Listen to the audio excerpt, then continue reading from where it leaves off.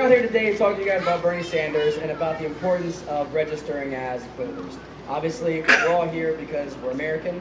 We're all here because we have these ideas of what we want our country to be and what we want our perception around the world to be.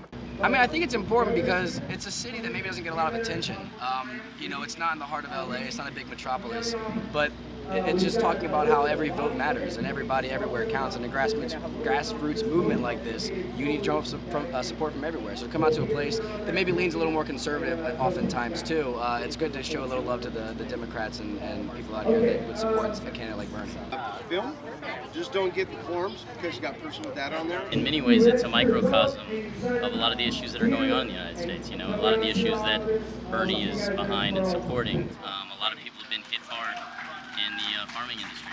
You know, uh, the, the drought in the Central Valley, um, Bakersfield is entwined in that. You know, I mean, it's a brother of Los Angeles, but it's very much its roots. I feel come from the surrounding valley and and the jobs that it provides, and people have been hit hard by that. And so this is where people have viable issues that, that need to be heard. I believe that these young men are using their celebrity status for good, and that is very exciting.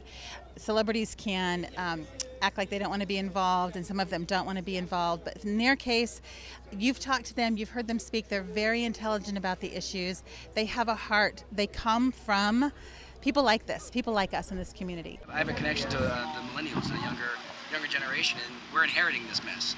And so to have a leader that we believe in that's going to stand up for what we think and what we want our country to be and what we want our perception to be around the world is so vital. And, and it's vital to our progress as a nation and as a world, I think. Who do we want? Bernie! When do we want him? Now! Who do we want? Bernie! When do we want him? Now! We are in a nation that, um, while having a lot of issues, there's a lot of strength and there's a lot of love here. And, and it's it's unfathomable that we're still facing some of the issues that we are. That and if we're in a place to help, then we want to do that. And I think Bernie's been that. It's a very inclusive platform that uh, wants to spread a little bit of the change and spread a little bit of the love on down.